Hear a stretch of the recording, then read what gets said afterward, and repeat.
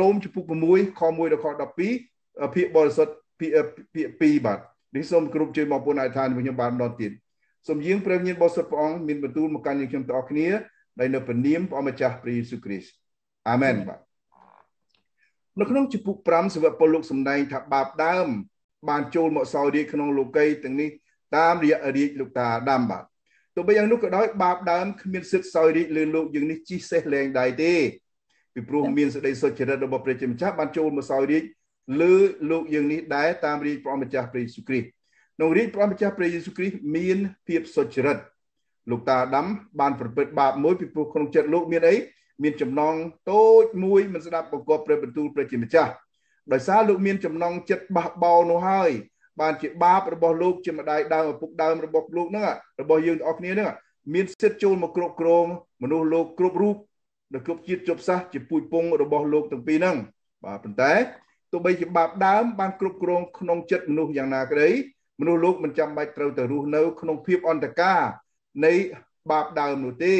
ព្រះម្ចាស់យេស៊ូវគ្រីស្ទទ្រង់សគត់3ថ្ងៃរស់ឡើងវិញដើម្បីផ្ដល់ប្រគុណមកឲ្យមនុស្សលោកមានលទ្ធភាពអាចរំដោះខ្លួនរួចពីចំណងបាបដើមរបស់ខ្លួននោះព្រះម្ចាស់យេស៊ូវគ្រីស្ទទ្រង់យាងមកប្រទានឲ្យមានជីវិតនិងសេចក្តីសុចរិតចំពោះបុគ្គលរូបណាដែលជឿដល់ព្រះនាមទ្រង់ ដោយសារជំនឿនោះទ្រង់លៀងសម្អាតបាបផងលៀងសម្អាតផលបាបចេញពីចិត្តអ្នកជឿគ្រប់គ្រប់រូបផងក្នុងពេលដដែលទ្រង់យាងគង់ក្នុងជីវិតរបស់អ្នកជឿទ្រង់ហើយទ្រង់ចេះតែលៀងសម្អាតផលបាបហើយនឹងបាបនៅក្នុងចិត្តបុគ្គលនេះជាបន្តបន្ទាប់ដើម្បីឲ្យភាពសុចរិតនោះមានភាពមានមានមានចីរភាពបាទហើយកិច្ចការព្រះញាណបរិសុទ្ធដែលនៃព្រះម្ចាស់ព្រះយេស៊ូវគ្រីស្ទទ្រង់ធ្វើសកម្មភាពក្នុងចិត្តបុគ្គលអ្នកជឿម្នាក់ម្នាក់ ញ៉ាំងឲ្យបុគ្គលម្នាក់ម្នាក់នៅតែមានភាពសុចរិតជានិច្ចនិរន្តរ៍សម្រាប់ទ្រង់ហេតុការនេះហើយសុទ្ធចង្ជាការដែលលោកសម្ដែងទវពលសម្ដែងនៅក្នុងជំពូក5នៅក្នុងគម្ពីររ៉ូមចាប់ពីជំពូក1ដល់ជំពូក5លោកសវពលលោកមិនតន់យករឿងជីវិតបរិសុទ្ធរបស់អ្នកជឿមកសម្ដែងទេឥឡូវចាប់ពីកម្ពីបាជីពពុចំពុ6នេះទៅសវៈពលលោកបដោតការយកទឹកដាក់ចិត្តទឹកដាក់លើបឋមភូមិនៃសេចក្តីសវៈពលលោកឈប់យកចិត្តទឹកដាក់ នៅលើបឋមភូមិនៃការសង្គ្រោះទៀតហើយហើយពាក្យថាបឋមភូមិមានន័យថាជំហានឬថ្នាក់ដំបូងបាទក្នុងចំពុ1ដល់ចំពុ5សវៈពលលោកលោកតែនិយាយទៅរឿងការសង្គ្រោះទេឥឡូវលោកផ្អាកនិយាយរឿងហ្នឹងបែរមកនិយាយអំពីសេចក្តីសុចរិតរបស់អ្នកជឿម្ដងហើយចំណុចប្រសពរួមនៅក្នុងចំពុក6នេះគឺការញែកអ្នកជឿចូលក្នុងភាពបរិសុទ្ធរបស់ព្រះជាម្ចាស់សិវពលលោកសំដែងព្រះបន្ទូលភាពបរិសុទ្ធរបស់អ្នកជឿមានពីរប្រភេទប្រភេទទី1ហៅថាអភ័យឯកសិទ្ធិនៃភាពបរិសុទ្ធ មានម្ដងទៀតអភ័យឯកសិទ្ធិនៃភាពបរិសុទ្ធហើយនៅប្រភេទទី2គឺភាពបរិសុទ្ធក្នុងជីវិតរស់នៅជាក់ស្ដែងបាទក្នុងមេរៀនភាពបរិសុទ្ធភាគ2នេះយើងសិក្សាពីដំណើរអភ័យឯកសិទ្ធិនៃភាពបរិសុទ្ធប៉ុណ្ណោះសូមចាំថាការញែកជាបរិសុទ្ធនេះជាគោលលទ្ធិកែវមួយក្នុងវិស័យជំនឿរបស់គ្រីស្ទបរិស័ទដូច្នេះតើអ្វីទៅហៅថាអភ័យឯកសិទ្ធនៃភាពបរិសុទ្ធរបស់អ្នកជឿយើងនឹងឆ្លើយសំណួរនេះដូចខាងក្រោមស្ដីពីប្រធានបទនៃភាពបរិសុទ្ធនេះមានពាក្យពីរម៉ាត់ ប្រើច្រើនដង ក្នុងកពីមានសំនៀងស្តៀងគ្នាហើយន័យស្ដាប់ទៅហាក់ដូចជាប្រហាក់ប្រហែលគ្នាដែរហើយពាក្យពីរម៉ាត់នោះទី1គឺពាក្យសុចរិតទី2គឺពាក្យបរិសុទ្ធពាក្យសុចរិតឬថាត្រឹមត្រូវនេះប្រើទាំងអស់918ដង ក្នុងព្រះគម្ពីរទាំងមូលដែលពាក្យថាបរិសុទ្ធមានប្រើ618ដង ក្នុងព្រះគម្ពីរទាំងមូលដែរពាក្យទាំងពីរនេះមានន័យមិនដូចគ្នាទាំងស្រុងទេ តែមិនអាចប្រើដាច់ពីគ្នាបាន នៅក្នុងមេរៀនថ្ងៃនេះពាក្យទាំងពីរត្រូវនឹងគោលលទ្ធិការរាប់ជាសុចរិតហើយនឹងការញែកជាបរិសុទ្ធហើយពាក្យថាការរាប់ជាសុចរិតមានន័យថាព្រះជាម្ចាស់ទ្រង់មិនចាត់ទុកអ្នកជឿថាមានថាជាជនមានបាបអីទៀតទេក្នុងគណៈបុគ្គលម្នាក់នោះបានជឿព្រះម្ចាស់ព្រះយេស៊ូវគ្រីស្ទហើយចំណែកពាក្យបរិសុទ្ធមានន័យថាទ្រង់ជាញែកអ្នកជឿព្រះម្ចាស់ព្រះយេស៊ូវចូលក្នុងរង្វង់ភាពបរិសុទ្ធរបស់អង្គព្រះគ្រីស្ទហើយភាពសុចរិតឬភាពសុចបរិសុទ្ធនោះប្រៀបបានទៅនឹងកងមុខកងក្រោយ នៅក្នុងជីវិតរបស់អ្នកជឿបាទការរាប់ជាសុចរិតជាកងមុខទាញនាំអ្នកជឿទៅដល់ទ្វារញែកចូលជាភាពបរិសុទ្ធហើយព្រះជាម្ចាស់ទ្រង់រាប់អ្នកជឿម្នាក់ទៅជនសុចរិតពីព្រោះអ្នកជឿនោះបានសុខចិត្តយកព្រះម្ចាស់ព្រះយេស៊ូវគ្រីស្ទហ្នឹងភ្ជាប់សញ្ញាណរបស់ខ្លួនហើយក្នុងខក្នុងគណៈបុគ្គលម្នាក់ជឿព្រះម្ចាស់យេស៊ូវទ្រង់យាងចូលក្នុងចិត្តរបស់បុគ្គលនោះកាលណាទ្រង់យាងចូលក្នុងចិត្តហើយព្រះយេស៊ូវទ្រង់គ្របដណ្ដប់បុគ្គលនោះដោយប្រគុណដើម្បីឲ្យអ្នកជឿមានភាពបរិសុទ្ធក្នុងជីវិតរស់នៅជាក់ស្ដែង តកតងនឹងភាពសុចរិតនិងភាពបរិសុទ្ធសូមកត់ចំណាំច្បាស់នៅការ3យ៉ាងទី1ការរាប់សុចរិតនឹងជាឋានៈរីឯការញែកចូលជាបរិសុទ្ធជាឯកសិទ្ធិរបស់អ្នកជឿចាំឡើយនឹងបងប្អូនណាការរាប់ជាសុចរិតជាឋានៈរបស់អ្នកជឿការញែកចូលជាភាពបរិសុទ្ធជាឯកសិទ្ធិរបស់អ្នកជឿបាទហើយទី2គឺការរាប់ជាសុចរិតជាកងមុខទាញនាំអ្នកជឿចូលទៅដល់ទ្វារញែកចូលទៅក្នុងភាពបរិសុទ្ធហើយទី3បើគ្មានឋានៈសុចរិតទេ ឯកសិទ្ធិភាពបរិសុទ្ធក៏គ្មានដែរ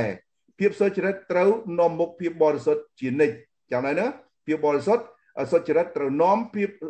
បរិសុទ្ធជានិច្ចបាទការរាប់ជាសុចរិតទទួលបានក្នុងវិនាទីបុគ្គលម្នាក់ជឿព្រះម្ចាស់ព្រះយេស៊ូវជាអង្គសង្គ្រោះក្នុងនាមជាជនសុចរិតសម្រាប់ព្រះអង្គព្រះជាម្ចាស់ទ្រង់មិនរាប់បាបនិងផលបាបរបស់អ្នកជឿថាមានទោសកំហុសអីទៀតទេហើយចាប់ពីពេលនោះទៅព្រះជាម្ចាស់ទ្រង់ចាប់ផ្ដើមធ្វើការក្នុងជីវិតអ្នកជឿនឹង ឲ្យបុគ្គលនោះចេះតែរស់នៅ ក្នុងភាពសុចរិតជានិច្ចបាទទៅចាំថាការសង្គ្រោះពលឹងមនុស្សម្នាក់កើតឡើងភ្លាមក្នុងវិនាទីជននោះជឿព្រះម្ចាស់ព្រះយេស៊ូវគ្រីស្ទចំណែកឯការញែកបរិសុទ្ធវិញមិនទាន់កើតភ្លាមឡើងទេហើយតែម្ដងជាសម្រាប់ក្នុងជីវិតទេនៅក្នុងជីវិតអ្នកជឿទេហើយក្នុងការញែកចូលក្នុងភាពបរិសុទ្ធព្រះមានបរិសុទ្ធទាំងញែកជារៀងរាល់ថ្ងៃដល់រាបណាជីវិតអ្នកជឿរស់នៅលើផែនដីនេះមានការខុសគ្នារវាងការរាប់ជាសុចរិតនិងការញែកក្នុងភាពចូលក្នុងភាពបរិសុទ្ធ ការរាប់ជាសុចរិតជាកងមុខដូចបានជម្រាបរួចមកហើយថានាំអ្នកជឿទៅដល់ទ្វារញែកបរិសុទ្ធក្នុងជីវិតអ្នកជឿក្នុងជីវិតរស់នៅជាក់ស្ដែងបាទហើយការរាប់ជាសុចរិតជាកិច្ចការឯកតោភាគីរបស់ព្រះជាម្ចាស់ផ្ទាល់ហើយការញែកជាបរិសុទ្ធជាកិច្ចការរបស់ព្រះវិញ្ញាណបរិសុទ្ធទ្រង់ធ្វើការប្រចាំជាមួយនឹងអ្នកជឿបាទក្នុងការរាប់ជាសុចរិតព្រះជាម្ចាស់ទ្រង់គ្រាន់តែប្រកាសសាលក្រមថាអ្នកជឿទទួលបានសេចក្តីសុចរិតជាស្ថាពរពីព្រះជាម្ចាស់ហើយចំណែកការញែកជាបរិសុទ្ធ ជាកិច្ចការព្រះវិញ្ញាណបរិសុទ្ធទ្រង់រក្សាឋានៈអ្នកជឿឲ្យនិតិជនសុចរិតសម្រាប់ព្រះអង្គផ្ទាល់លើពីនោះការរាប់ជាសុចរិតជាការដកទោសទណ្ឌនៃសកម្មភាពបាបទាំងប្រមាណចេញពីអស់ក្នុងជីវិតរបស់អ្នកជឿចំណែកឯការញែកជាបរិសុទ្ធព្រះមានបរិសុទ្ធទងទប់ទល់មិនឲ្យបាបនិងអំណាចបាបមានឥទ្ធិពលទាំងស្រុងទៅលើជីវិតអ្នកជឿការញែកអ្នកជឿចូលក្នុងភាពបរិសុទ្ធ ជាកិច្ចការងារដាច់ណាត់របស់ព្រះវិញ្ញាណបរិសុទ្ធពលគឺមិនមែនជាកិច្ចការរបស់អ្នកជឿទេសូមចាំបងប្អូនចាំនៅច្បាស់កន្លែងនេះណាបងប្អូនណាព្រះជាម្ចាស់ទ្រង់តុបតែងគ្រឿងអលង្ការជូនអ្នកជឿព្រះអង្គនឹងទាំងសម្បកកាយខាងក្រៅទាំងក្នុងផ្លូវចិត្តបាទខាងសម្បកកាយខាងក្រៅនឹងទ្រង់តុបតែងគ្រឿងអលង្ការដែលផ្ដល់អភ័យកសិទ្ធអាចចូលយ៉ាងសុចរិតនៅចំពោះព្រះអង្គបានហើយទ្រង់ធ្វើបែបនោះដោយបញ្ជូនព្រះយេស៊ូវគ្រីស្ទឲ្យមកសគត់សងផ្ដាច់បំណុលបាប ហើយព្រះអង្គដកទោសទណ្ឌនានាដែលអ្នកជឿលោកបានប្រព្រឹត្តបាបនៅក្នុងជីវិតរស់នៅជាក់ស្ដែងរីឯក្នុងចិត្តវិញទ្រង់តុបតែងគ្រឿងអលង្ការដោយបញ្ជូនព្រះវិញ្ញាណបរិសុទ្ធឲ្យទ្រង់យាងមកគង់ក្នុងចិត្តអ្នកជឿដើម្បីឲ្យអ្នកជឿនៅតែបន្តទៅធ្វើជាបុគ្គលម្នាក់មានតំណែងតំណងយ៉ាងស្និទ្ធស្នាលជាមួយព្រះជាម្ចាស់ដ៏មានតម្លាភាពក្នុងនាមព្រះម្ចាស់ព្រះយេស៊ូវគ្រីស្ទតាមគោលការណ៍ក្រឹតវិន័យរបស់ទ្រង់បន្ទាប់ពីប្រទានការសង្គ្រោះដល់អ្នកជឿហើយ ព្រះជាម្ចាស់ទ្រង់សពតិឲ្យអ្នកជឿនឹងរស់នៅចាក់ពីសេរីភាពរួចពីរស់នៅមានសេរីភាពចាក់ពីបាបរបស់គាត់ប៉ុន្តែសូមគាត់ចំណាំឲ្យបានច្បាស់ថាដោយសារព្រះជាម្ចាស់ទ្រង់ចាត់ទុកអ្នកជឿម្នាក់ជាបុគ្គលសុចរិតសម្រាប់ព្រះអង្គអ្នកជឿមិនចាំបាច់ត្រូវទៅវាយដំបង្ខំចិត្តធ្វើការញែកខ្លួនឯងឲ្យខាងទៅបរិសុទ្ធដោយកម្លាំងបាយនោះទេការរាប់ជាសុចរិតការញែកជាបរិសុទ្ធហ្នឹង ក៏ទទួលបានជាស្ថាពរដោយសារព្រះម្ចាស់ព្រះយេស៊ូវទ្រង់សុគតជួសបាបអ្នកជឿហើយហើយ3ថ្ងៃក្រោយមកទ្រង់មានបញ្ជូនរូបពីសុគតឡើងវិញសម្រាប់ធានាសេចក្តីសុចរិតនិងសេចក្តីបរិសុទ្ធដល់អ្នកដែលជឿនោះចំពោះព្រះចំពោះចំពោះអ្នកជឿដល់ព្រះរាជបុត្ររាជបុត្រាមានការសំខាន់ណាស់ដែលជំនឿចំពោះព្រះរាជបុត្រាហ្នឹងពីព្រោះការជំនឿនឹងញ៉ាំងឲ្យបុគ្គលម្នាក់មានបាបម្នាក់ទទួលរົບជាសុចរិតផងហើយញែកចូលក្នុងភាពបរិសុទ្ធសម្រាប់ព្រះម្ចាស់ ផងដែរហើយព្រះបន្ទូលបញ្ជាក់ការពិតនៅខាងក្រោមថាគ្រិនតូខ្សែទី1ចំពុក1ខ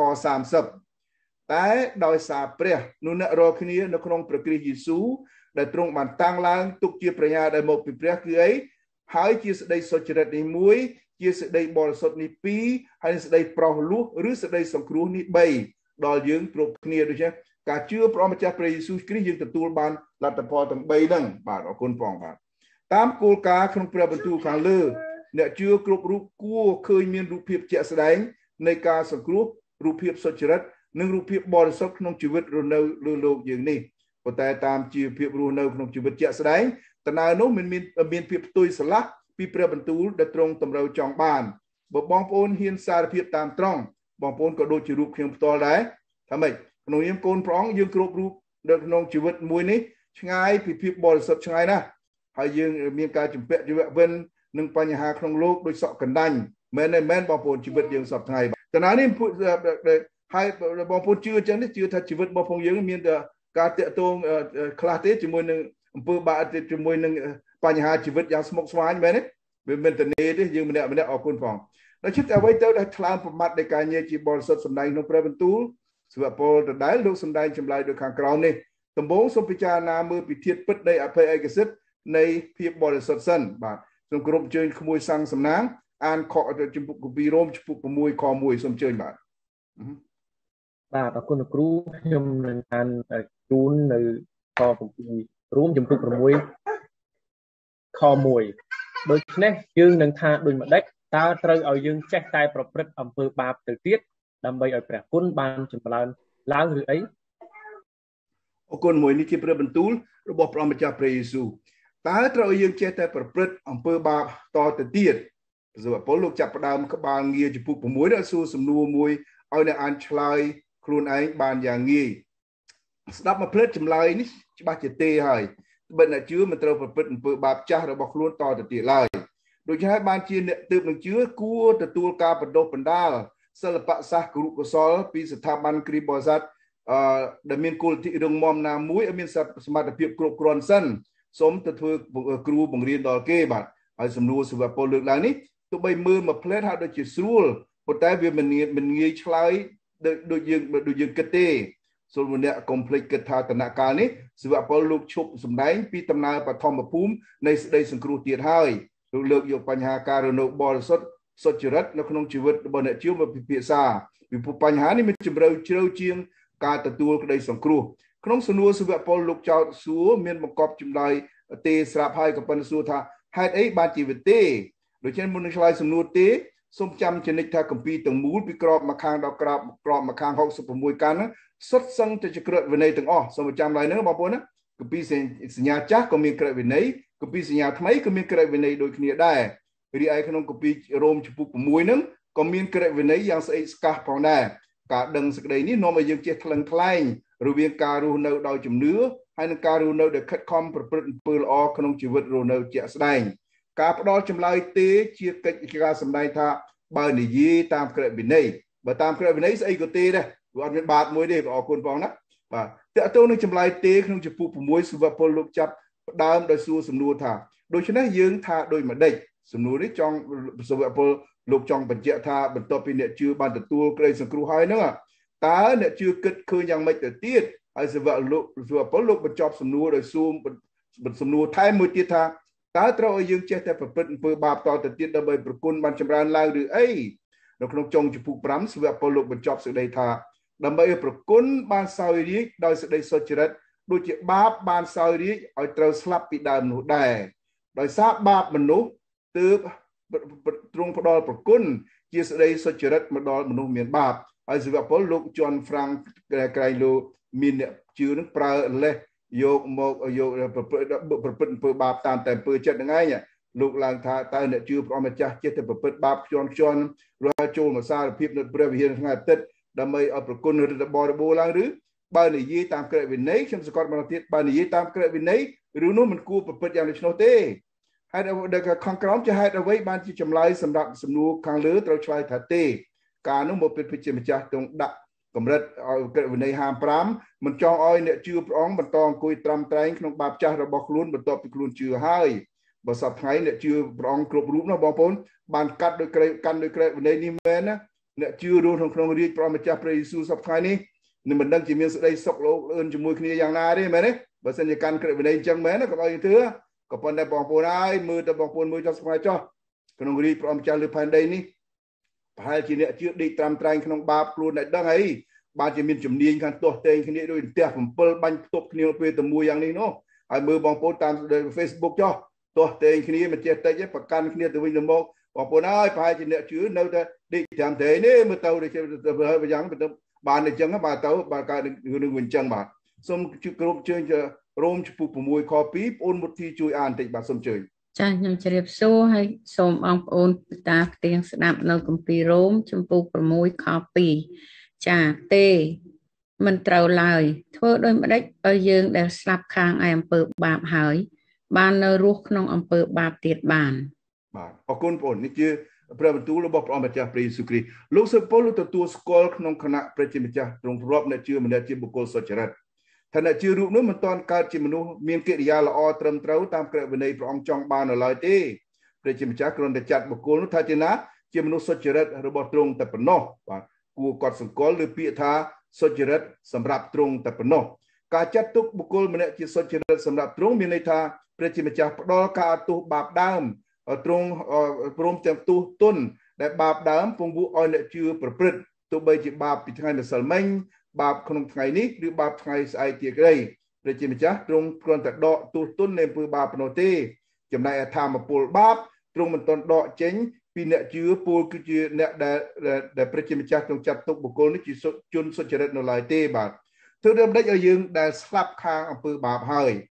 បទនេះមានគេច្រឡំច្រើនណាស់គេយល់ច្រឡំថាសិវពលបង្រៀនថាព្រះជាម្ចាស់ទ្រង់ដកធម្មពលបាបអស់ចេញរលីងពីជីវិត រស់នៅជាក់ស្ដែងនៅជីវិតអ្នកជឿដូច្នេះគេគិតឃើញច្រឡំថាបើព្រះជាម្ចាស់រាប់អ្នកជឿម្នាក់ថាជាអ្នកសុចរិតហើយអ្នកជឿរូបនោះមិនត្រូវអង្គុយត្រាំត្រែងក្នុងបឺបាបចាស់របស់ខ្លួនទៀតទេ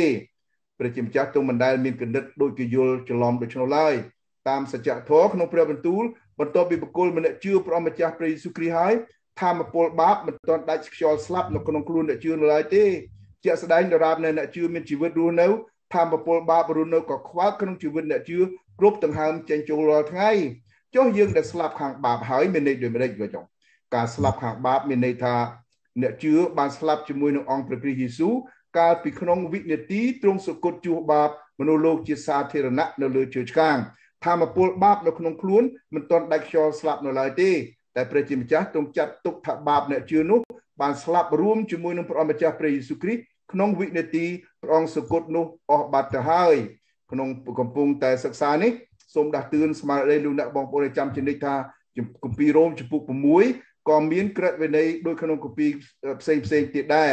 ទេបងប្អូនចាំកន្លែងនេះបាទហើយមានក្រុមគ្រីបរិស័ទខ្លះបង្ហាត់បរៀនថាក្រុមគេណាបងប្អូនឈានទៅដល់កម្រិតរស់នៅមិនដែលប្រព្រឹត្តអំពើបាបណាមួយក្នុងលោកនេះទល់តែសោះទោះបីគេអួតយ៉ាងនេះខ្នើយព្រះបន្ទូលសម្ដែងថាធម្មពលបាបមិនទាន់ដាច់ខ្យល់ស្លាប់នៅក្នុងជីវិតអ្នកជឿនៅឡើយទេហើយមានគ្រីបរិស័ទមួយក្រុមទៀតដើរបង្រៀនថាម៉េច គេជីវិតគេមានជ័យជំនះរហូតដែរគេអះអាងថាម៉េចជីវិតគេជ័យជំនះដែលបណ្ដែលប្រព្រឹត្តអំពើបាបណាមួយក្នុងជីវិតនោះគេរស់នៅនោះគេដែលប្រព្រឹត្តបាបណាទេអត់សោះរបស់បងប្អូនគេថាអញ្ចឹងបងប្អូនហើយការអួតបែបនេះវាខុសទៅទេទៅហើយវាមិនអញ្ចឹងទេវាការឆ្លើយអួតរបៀបនេះហ្នឹងវាមិនត្រឹមត្រូវទេបងប្អូនបិទព្រះបន្ទូលរបស់ព្រះអង្គមិនដែលសំដែងអញ្ចឹងទេបើត្រូវមែនសូមបងប្អូនសួរខ្លួនយើងមើលខ្លួនបងប្អូនជឿព្រះអង្គមិនមែនសប្តាហ៍នេះបងប្អូនជឿព្រះអង្គសប្តាហ៍នេះ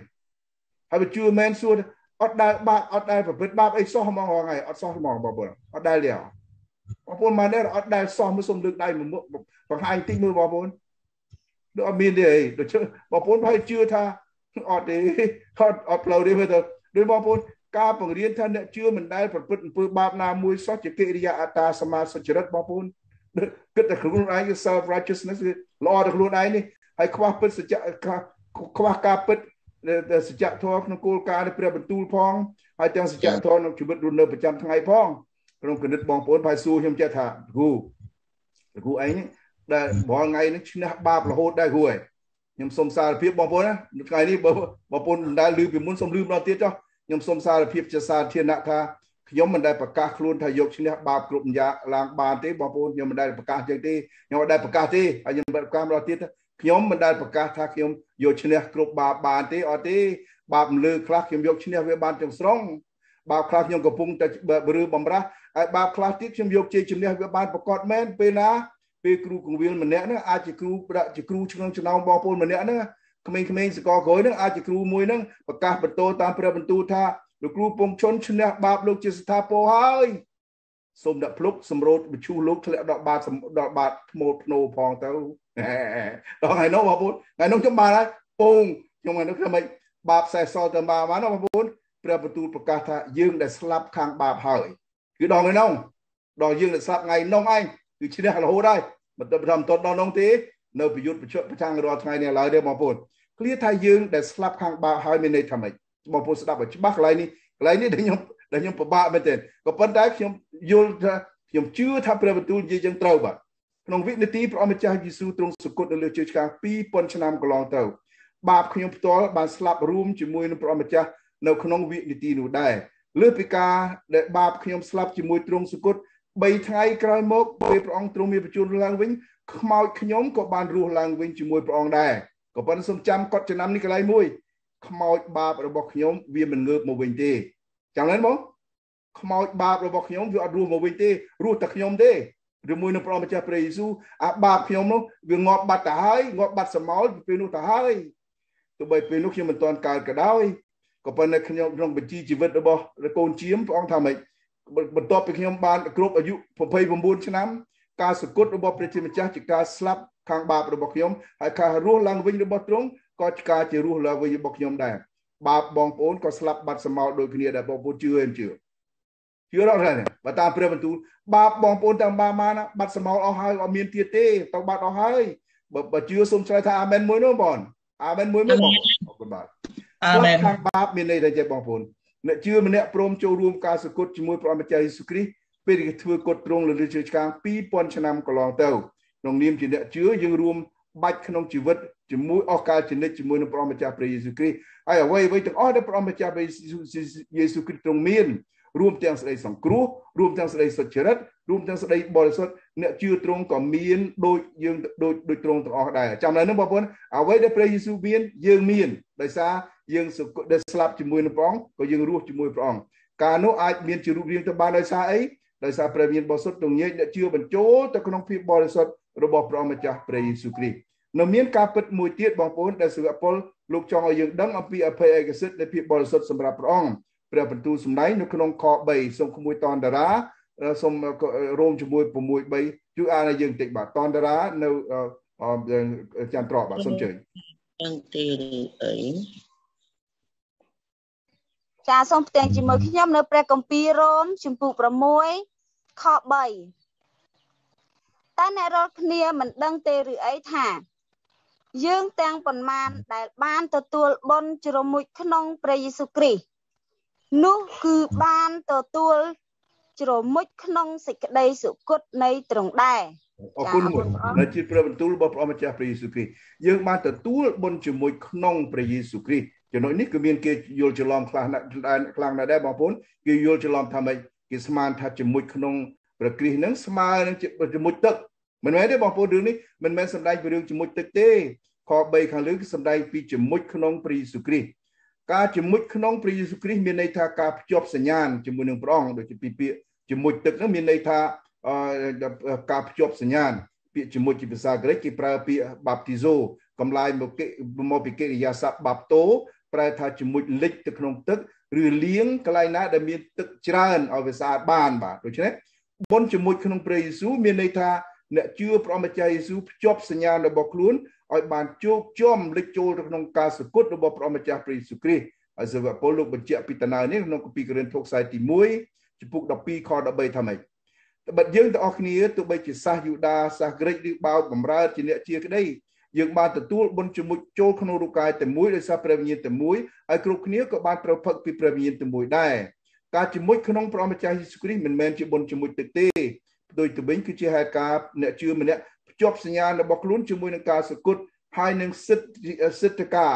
ទាំងឡាយទាំងពួងរបស់ព្រះម្ចាស់ព្រះយេស៊ូវគ្រីស្ទពាក្យសិទ្ធិការសរសេរថាសស្អេតូជើងធោកស្អារោជើងយោប្រែថាការងារដែលធ្វើបានសម្រាប់ជាស្ថាពរហើយព្រះយេស៊ូវទ្រង់ធ្វើសម្រាប់នៅលើស្ថាពរធ្វើសិទ្ធិការសម្រាប់នៅលើជួយឆ្កាងអស់ហើយសម្រាប់យើងទាំងអស់គ្នាដូចជាមុនជាមួយក្នុងសេចក្តីសុគតរបស់ព្រះម្ចាស់យេស៊ូវគ្រីស្ទមានន័យថា 2000ឆ្នាំកន្លងទៅឈ្មោះលោកអ្នកឈ្មោះបងប្អូនឈ្មោះខ្ញុំផ្ទាល់ហ្នឹងជាអ្នកជឿទ្រង់បានចូលរួមស្លាប់ជាមួយនឹងព្រះអម្ចាស់យេស៊ូវគ្រីស្ទពេលទ្រង់សុគតនៅលើជើងឆ្កាងហើយគណៈព្រះយេស៊ូវទ្រង់ទ្រង់ត្រូវគេធ្វើគុតមិនមែនមន្ត្រីសង្ឃសាសយូដាក៏មិនមែនមន្ត្រីរដ្ឋបាលរាជការចក្រភពរ៉ូមជាអ្នកធ្វើគុតទ្រង់ទេហើយគិតកោទៅនោះសុទ្ធតែជាគិតកោគិតកោគិតកោសុបសបនិមិត្តនិមិត្តទេគិតកោជាក់ស្ដែងនៅណាបងប្អូន គិតគិតកោពិតប្រកបជាក់ស្ដែងដែលធ្វើគុតព្រះយេស៊ូវមិនមែនពួកលោកទេគឺណាគឺយើងរាល់គ្នាជាមនុស្សមានបាបនេះវិញទេតើប្រចាំនេះបងប្អូនណាលោកទាំងនោះគ្រាន់តែជាអ្នកព្រះដែលទទួលធ្វើការនោះក៏ប៉ុន្តែយើងជាអ្នកបញ្ជូនព្រះអង្គទៅហើយព្រះម្ចាស់យេស៊ូវគ្រីស្ទត្រូវគេធ្វើគុតដោយសារណាដោយសារតែបាបដើមផ្ទាល់របស់យើងគ្រប់រូបហ្នឹង គណៈបងប្អូននៅរូបខ្ញុំស្គាល់ទទួលស្គាល់ថាជាយើងជាគិតកោពតពិតធ្វើគុតត្រង់យើងចូលរួមក្នុងការជាមួយក្នុងការសគុតរបស់ព្រះម្ចាស់ព្រះយេស៊ូវហើយដូចជាបានជាសិវពលលោកសំដែងព្រះបន្ទូលបន្ថែមនៅក្នុងខ4ចំពោះ6ខ4ខាងក្រោមសូមបងគុណនីសូមជួយអានបាទដូច្នេះយើងបានត្រូវកប់ជាមួយនឹងត្រង់ហើយដោយទទួលជ្រមុជក្នុងសេចក្តីស្លាប់ ដើម្បី ឲ្យយើងបានដើរក្នុងជីវិតបែបថ្មី ដូចជាព្រះគ្រិស្តបានរស់ពីស្លាប់ឡើងវិញដោយសារសេរីល្អនៃព្រះវរបិតាដែរអរគុណបាទអរគុណបងនេះជាព្រះបន្ទូលរបស់ព្រះម្ចាស់យេស៊ូវគ្រីស្ទចាប់ពីពេលនេះទៅសូមបងប្អូនពិចារណាឲ្យចំណាយពេលបន្តិចខ្ញុំជឿថាបងប្អូននឿយហត់បន្តិចហើយប៉ុន្តែសូមចាំតែនេះជាគោលទីមួយដែលចាំបាច់ដែលបងប្អូនត្រូវដឹងហើយត្រូវយល់ ដើម្បីនេះជាជំនឿដែលយើងដែលជឿលើព្រះម្ចាស់ព្រះយេស៊ូវពីតណានេះឯងបាទដូច្នេះយើងបានត្រូវកប់ជាមួយនឹងទ្រង់ហើយដោយទទួលជ្រមុជក្នុងសេចក្តីស្លាប់បើយើងភ្ជាប់សញ្ញាណរបស់យើងជាមួយការសគុតរបស់ទ្រង់យើងក៏បានភ្ជាប់សញ្ញាណរបស់យើងនឹងកប់ក្នុងភ្នោជាមួយសពព្រះម្ចាស់ព្រះយេស៊ូវគ្រីស្ទដែរប៉ុន្តែព្រះយេស៊ូវទ្រង់មិនសគុតរហូតទេ3ថ្ងៃក្រោយមកទ្រង់រស់ឡើងវិញដោយសារព្រះម្ចាស់ព្រះយេស៊ូវទ្រង់រស់ឡើងវិញយើងក៏ភ្ជាប់សញ្ញាណរបស់យើងជាមួយការរស់ឡើងវិញដោយព្រះម្ចាស់ព្រះយេស៊ូវគ្រីស្ទ ក្នុងគណៈពេលយើងភ្ជាប់សញ្ញាណរបស់យើងជាមួយព្រះម្ចាស់យេស៊ូវគ្រីស្ទបាបដើមរបស់យើងត្រូវព្រះជាម្ចាស់ទ្រង់ជំនុំជម្រះរួចជាស្ថាពររួមជាមួយនឹងការសគត់របស់ព្រះម្ចាស់ព្រះយេស៊ូវគ្រីស្ទលើជើឆ្កាងដូច្នេះអនាគតខាងមុខពេលព្រះជាម្ចាស់ទ្រង់ធ្វើការជំនុំជម្រះមនុស្សលោកទូទៅយើងជាអ្នកជឿនឹងមានអភ័យឯកសិទ្ធដឹងប្រកាសថាម៉េចព្រះជាម្ចាស់ទ្រង់មិនលើកយកបាបដើមរបស់យើងនឹងទៅធ្វើការជំនុំជម្រះម្ដងទៀតទេហើយលោកសុវពលបានបញ្ជាក់ថាដើម្បីឲ្យយើងបានដើរក្នុងជីវិតបែបថ្មី ជីវិតបែបថ្មីគឺជីវិតមានសង្គមខ្ពស់ទោះបីស្លាប់រស់យើងជឿទុកចិត្តសមត្ថភាពរបស់ព្រះជាម្ចាស់ព្រមទាំងជឿព្រះម្ចាស់ដែលទ្រង់ជំនុំជម្រះបាបដើមយើងជាមួយការសគត់របស់ព្រះម្ចាស់ព្រះយេស៊ូវគ្រីស្ទរួចហើយហើយពេលព្រះអង្គធ្វើការជំនុំជម្រះលើកមុនលើកក្រោយហ្នឹងយើងអត់ជាប់ការជំនុំជម្រះទៀតទេពីព្រោះយើងជាប់ជំនុំជម្រះរួចបាត់ទៅហើយជាមួយព្រះម្ចាស់ព្រះយេស៊ូវគ្រីស្ទតែមានជីវិតណាដែលប្រសើរជាងជីវិតរស់នៅប្រកបដោយសេរីភាពរួចពីជីវិតជាប់ពិរុទ្ធបាបគ្មានពិរុទ្ធខាងបាប គ្មានការអ្វីប្រសើរជាងជីវិតនឹងទេបាទសូមគោរពក្មួយសីហាជួយអានខ5ឲ្យបងប្អូនស្ដាប់បន្តិចបាទសីហានៅកញ្ចេះសូមជើញបាទបាទលោកគ្រូរ៉ូម16ខ5បិទបើយើងបានស្គាប់ជាមួយនឹងទ្រង់ក្នុងការដែលជាគំរូពីសេចក្តីសក្តិរបស់ទ្រង់នោះក៏នឹងបានជាប់ក្នុងសេចក្តីរស់ឡើងវិញរបស់ទ្រង់ដែរ បាទអរគុណមួយបាទនេះជាព្រះបន្ទូលរបស់ព្រះម្ចាស់ព្រះយេស៊ូវគ្រីស្ទបើយើងភ្ជាប់សញ្ញារបស់យើងជាមួយការសគត់របស់ព្រះម្ចាស់យេស៊ូវគ្រីស្ទសញ្ញារបស់យើងពិតជាបានភ្ជាប់ជាមួយនឹងទ្រង់ក្នុងការរស់ឡើងវិញដែរដោយសារព្រះម្ចាស់ព្រះយេស៊ូវរស់ពីសគត់ឡើងវិញយើងក៏រស់យើងក៏រស់ពីស្លាប់ឡើងវិញដូចទ្រង់ដែរការសគត់និងការរស់ឡើងវិញរបស់ទ្រង់សន្ធិដ្ឋជាប់ក្នុងជីវិតរស់នៅប្រចាំថ្ងៃជាក់ស្ដែងរបស់យើងជាអ្នកជឿព្រះអង្គព្រះម្ចាស់យេស៊ូវគ្រីស្ទជាដើមទំពាំងបាយជូររស់ចំណែកយើងគ្រាន់ជាមេឃបំបៅ ពីទ្រង់ភ្ជាប់ជាតិដើម្បីរស់មកដំណើរទៅលើលោកនេះតម្រាំដល់ពេលយើងបដូរទីកន្លែងទៅរស់នៅជាអចិន្ត្រៃយ៍ជាមួយទ្រង់អស់កាលជានិច្ចនៅលើឋានសួគ៌ខ6សូមគោរពជើញបងគុណនីអានដល់បងប្អូនយើងស្ដាប់បន្តិចបាទសូមជើញខ្ញុំសូមអានរ៉ូម6ខ6ដោយដឹងសេចក្តីនេះថាមនុស្សចាស់របស់យើងបានត្រូវឆ្កាងជាមួយនឹងទ្រង់ហើយដើម្បី ឲ្យតួអំពើបាបបានត្រូវសូន្យទៅ ប្រយោជន៍កុំឲ្យយើងនៅបំរើអំពើបាបទៀតឡើយអរគុណបងនេះព្រះបន្ទូលរបស់ព្រះម្ចាស់យេស៊ូវគ្រីស្ទដោយដឹងសេចក្តីនេះថាមនុស្សចាស់របស់យើងមនុស្សចាស់របស់យើងមានន័យថាចេះបងប្អូនមិនមែនស្ពួលសំដៅទៅលើចាស់ចាស់រស់មុនយើងទេមនុស្សចាស់គឺបុគ្គលរូបយើងមុនទទួលជឿព្រះម្ចាស់ព្រះយេស៊ូវគ្រីស្ទ មនុស្សចាស់របស់យើងបានត្រូវឆ្កាងជាមួយនឹងទ្រង់ហើយមានន័យថាក្រោយពីជឿព្រះយេស៊ូវបាបចាស់លែងធ្វើសកម្មភាពក្នុងរូបរាងកាយរបស់អ្នកជឿតាមតដឹងចិត្តទៀតតាមគោលការណ៍ក្នុងក្រឹតវិន័យនៃព្រះគម្ពីរសញ្ញាថ្មីចំណុចនេះមានន័យថាក្រោយជឿព្រះយេស៊ូវហើយកុំឲ្យប្រព្រឹត្តបាបចាស់ក្រឹតវិន័យនិយាយចឹងក្រោយជឿព្រះយេស៊ូវហើយកុំឲ្យប្រព្រឹត្តបាបចាស់ក៏ប៉ុន្តែសំចាំថានេះជាក្រឹតវិន័យក្នុងព្រះគម្ពីរសញ្ញាថ្មីហើយព្រះបន្ទូលក៏សម្ដែងក្រឹតវិន័យថា គ្មានក្រឹតវិន័យណាប្រទានមកឲ្យមនុស្សដែលបានរួចពីបាបទេគឺគ្រាន់ឲ្យមនុស្សស្គាល់បាបតែប៉ុណ្ណឹងហើយការប្រព្រឹត្តបាបចាស់ជាអំពើបាបមួយដែរតែជាបាបព្រះជាម្ចាស់ទ្រង់ព្រះយេស៊ូវអត់ទោសពេលទ្រង់សុគតនៅលើឈើឆ្កាងអស់រួចហើយអ្នកជឿគួរឈប់ប្រព្រឹត្តអំពើបាបចាស់មែនតែទ្រង់ឈប់បានត្រឹមកម្រិតណាមួយអាស្រ័យនៅលើបើសមានចិត្តនិងកិច្ចបូជារបស់ខ្លួនមានបែបយ៉ាងណានៅចំពោះព្រះម្ចាស់យេស៊ូវគ្រីស្ទខ7សូមគោរពអូនមុទីជួយអានខ7បាទ ចាសសូមជើញទៀង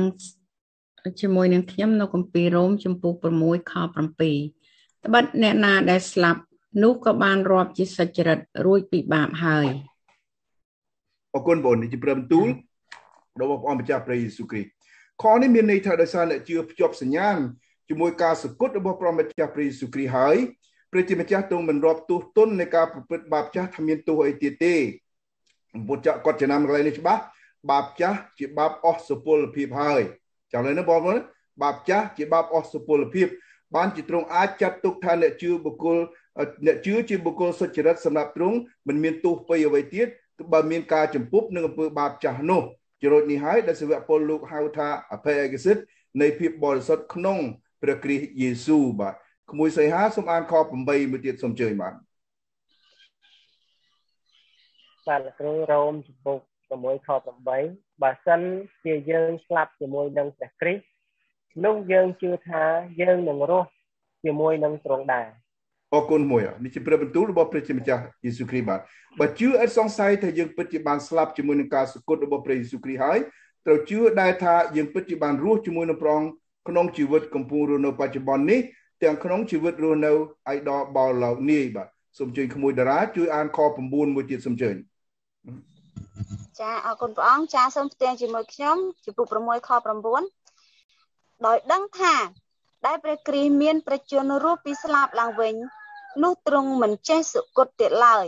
ព្រោះសេចក្តីស្លាប់គ្មានអំណាចលើទ្រង់ទៀតទេទៀតអរគុណអរគុណមួយបាទអរគុណបាទនេះជាព្រះបន្ទូលរបស់ព្រះម្ចាស់យេស៊ូវគ្រីស្ទការពិតមួយទៀតសាវកពលចង់ឲ្យយើងដឹងដែរគឺថាព្រះម្ចាស់ព្រះយេស៊ូវទ្រង់មានប្រជជនរស់នៅសពថ្ងៃគឺធ្វើគុតទ្រង់ពិតប្រកបមែន តែសេចក្តីស្លាប់នោះមិនមានអំណាចលើព្រះអង្គទេសពថ្ងៃព្រះអង្គទ្រង់មានប្រជជនរស់នៅព្រះម្ចាស់យេស៊ូវគ្រីស្ទរស់ឡើងវិញបើកទ្វារយ៉ាងទូលាយសម្រាប់អ្នកជឿគ្រប់រូបនឹងបានរស់ជាមួយនឹងព្រះម្ចាស់រហូតដល់អស់កលជានិច្ចខ10សូមគ្រប់ជើញបងធីជួយអានមួយទៀតបាទសូមជើញចាសូមជើញផ្ទៀងជាមួយនឹងខ្ញុំនៅគម្ពីររ៉ូមចំពោះ6ខ10ចាត្បិតដែលទ្រង់សុគតនោះគឺបានសុគតខាងឯបាបមួយដងជាសម្រេច ហើយដែលទ្រង់មានប្រជញ្ញរស់នោះទ្រង់រស់ខាងឯព្រះវិញអរគុណបាទនេះជាព្រះបន្ទូលរបស់ព្រះម្ចាស់យេស៊ូវគ្រីស្ទព្រះម្ចាស់យេស៊ូវគ្រីស្ទទ្រង់ទទួលជួសសុគតជួសបាបមនុស្សលោកម្ដងជាសរ៉ាច់3ថ្ងៃក្រោយមកទ្រង់មានប្រជញ្ញរស់ឡើងបាត់វិញឡើងវិញម្ដងជាសរ៉ាច់ដែរបច្ចុប្បន្នព្រះអង្គគង់នៅខាងស្ដាំនៃបល្ល័ង្ករបស់ព្រះបិតាទ្រង់គង់នៅទីនោះដើម្បីធ្វើអីដើម្បីអធិដ្ឋានទូលអង្វរជំនួសអ្នកជឿព្រះអង្គ ដោយសារមូលហេតុនោះហើយបានជាយើងជឿអត់សង្ស័យថាទ្រង់អាចជួយសង្គ្រោះយើងគ្រប់រដូវកាលនៃជីវិតយើងទោះបីធ្លាក់ខ្លួនទៅប្រព្រឹត្តបាបណាមួយដោយប្រការដោយប្រការណាមួយក្តីនៅសហេតុការមួយទៀតសិវពលលោកចង់ឲ្យយើងដឹងដែរនៅក្នុងខ11សូមគ្រប់ជើញអូនមុធីជួយអានបាទសូមជើញចាសូមជើញទៀងស្ដាប់រ៉ូម6ខ11ចាដូច្នេះចូលអ្នករាល់គ្នារាប់ខ្លួនទុកជាស្លាប់ខាងឯបាបដែរ តែរស់ខាងឯព្រះវិញចោះដោយនៅព្រះគ្រីស្ទយេស៊ូវជាព្រះអម្ចាស់នៃយើងរាល់គ្នាបាទអរគុណព្រះអង្គបាទសូមព្រះសូមអពលលោកចង់ឲ្យយើងដឹងថាបាបចាស់របស់យើងបានស្លាប់បាត់ទៅហើយចាំឡើយនឹងបងប្អូនណាបាបចាស់របស់យើងបានស្លាប់បាត់ទៅហើយធ្វើឲ្យបាបចាស់ស្ថិតជាប់នឹងរូបកាយចាស់របស់យើងមែនតែយើងត្រូវជឿថាបាបនោះវាស្លាប់បាត់ជាមួយនឹងព្រះយេស៊ូវក្នុងពេលទ្រង់សុគតនៅលើឈើឆ្កាងហើយបាបចាស់នោះ បានស្លាប់បាត់ទៅហើយក៏ត្រូវបញ្ចុះនៅក្នុងភ្នោរបស់លោកយូសែបអារីម៉ូថេដែរនៅពេលព្រះម្ចាស់ព្រះយេស៊ូវទ្រង់រស់ពីសុគតឡើងវិញខ្មោចបាបចាស់នោះស្លាប់មនុស្សយើងរស់ឡើងវិញមែនក៏ប៉ុន្តែស្លាប់បាបចាស់នោះមិនរស់មកវិញជាមួយព្រះម្ចាស់ព្រះយេស៊ូវទេចាំឡើយនោះបងប្អូនណាបាបចាស់ហ្នឹងវាស្លាប់បាត់ទៅហើយវាអត់ឡើងរស់មកវិញទេរស់តែព្រះម្ចាស់ព្រះយេស៊ូវហើយនឹងយើងទាំងអស់គ្នាដែលជាអ្នកជឿនោះទេ បាបនោះជាបាបស្លាប់បាត់សមោលនៅក្នុងភ្នោដោយសារព្រះវិញ្ញាណបរិសុទ្ធញែកអ្នកជឿចូលនៅក្នុងសេចក្តីបរិសុទ្ធរបស់ព្រះយេស៊ូវព្រះជាម្ចាស់ទ្រង់មិនរាប់ថាអ្នកជឿនោះមានទោសទណ្ឌអ្វីទោះយើងចំពប់ជាមួយបាបចាស់ដែលស្លាប់បាត់ទៅហើយនោះជារឿយរឿយក៏ដោយអ្នកប្រព្រឹត្តបាបចាស់គឺនរណាគឺមនុស្សចាស់ដែលនៅក្នុងខ្លួនយើងមនុស្សថ្មីដែលនៅក្នុងយើងនឹងដែលជឿព្រះអង្គនេះមិនដែលប្រព្រឹត្តទេតែអ្នកបាបដែលប្រព្រឹត្តគឺណាគឺបាបអ្នកមនុស្សចាស់នោះឯងដែលនៅជាមួយយើងបាទខចុងក្រោយព្រះអង្គខ12សូមគោរពជើញក្មួយចម្រើនសូមជួយអានបាទ បាទសូមជើញផ្ទៀងខចុងក្រោយជាមួយខ្ញុំទាំងអស់គ្នាហេតុនេះកុំឲ្យបាបសោយរាជក្នុងរូបកាយរបស់អ្នករាល់គ្នាដែលតែងតែស្លាប់ដើម្បីនឹងស្ដាប់តាមសេចក្តីពងប្រាថ្នារបស់បាបនោះឡើយបាទអរគុណមួយនេះជាព្រះបន្ទូលរបស់ព្រះម្ចាស់យេស៊ូវគ្រីស្ទកុំឲ្យបាបសោយរាជក្នុងរូបកាយរបស់អ្នករាល់គ្នាព្រះបន្ទូលនេះជាក្រឹតវិន័យមួយទៀតក្នុងព្រះគម្ពីរសញ្ញាថ្មីចាំឡើងបងប្អូនណា គ្មានមនុស្សណាម្នាក់ទទួលរាប់ជាសុចរិតបរិសុទ្ធដោយកាន់តាមក្រឹតវិន័យទេដូច្នេះសាវកពលលោកបញ្ជាក់បន្ថែមទៀតថាបើនិយាយតាមក្រឹតវិន័យអភ័យឯកសិទ្ធនៃភាពបរិសុទ្ធរបស់អ្នកជឿនៅព្រះអង្គម្ចាស់យេស៊ូវគ្រីស្ទហ្នឹងគួរណាស់តែមិនឲ្យអំពើបាបចាស់ហ្នឹងសោយរាជក្នុងរូបកាយរបស់ខ្លួនប៉ុន្តែដោយសារព្រះវិញ្ញាណបរិសុទ្ធទ្រង់ញែកអ្នកជឿចូលទៅក្នុងរង្វង់ភាពបរិសុទ្ធរបស់ព្រះម្ចាស់ព្រះយេស៊ូវគ្រីស្ទយេស៊ូវគ្រីស្ទហើយនោះ ទោះអ្នកជឿជៀសមិនរួចពីប្រឡាក់ប្រឡាក់បាក់ពោកជាមួយនឹងបាបចាស់របស់ខ្លួនខ្លះខ្លះជាមិនខានក៏ដោយក៏បាបស្លាប់នោះគ្រាន់ជាពពួកបាបអស់សុពលភាពតែប៉ុណ្ណោះចាំឡើយនោះបងប្អូនណាបាបនោះជាបាបពពួកបាបអស់សុពលភាពទេហើយសច្ចធម៌នោះដែលព្រះសិវៈពលលោកហៅថាអភ័យឯកសិទ្ធនៃការញែកចូលក្នុងភាពបរិសុទ្ធនៃសេចក្តីសុចរិតរបស់ព្រះម្ចាស់យេស៊ូវគ្រីស្ទ ហើយពេលជួបគ្នាលើក្រោយយើងនឹងសិក្សាភាពបរិសុទ្ធភាគទី3គឺភាពបរិសុទ្ធក្នុងជីវិតរស់នៅជាក់ស្ដែងដែលត្រូវជាភាគបញ្ចប់បទអធិប្បាយស្ដីអំពីភាពភាពបរិសុទ្ធភាគ2នៅពេលនេះសន្មតថាចប់ដោយសង្ខេបសង្ខេបទៅតាមនេះសូមពររបស់ព្រះជាម្ចាស់ពិធានសួរកើតមានដល់លោកអ្នកបងប្អូនគ្រប់ទិនទិវារាត្រីកំបីគ្លៀងគ្លៀតឡើយអាមែនបាទចប់តែប៉ុណ្ណេះហើយសូមព្រះម្ចាស់ទានពរបាទអរគុណ